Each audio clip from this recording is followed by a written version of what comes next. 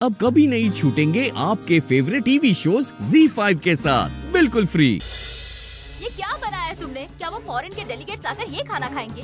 आज अगर कोई भी प्रॉब्लम हुई ना तो मुझसे बुरा और कोई नहीं होगा। बता रहा हूँ।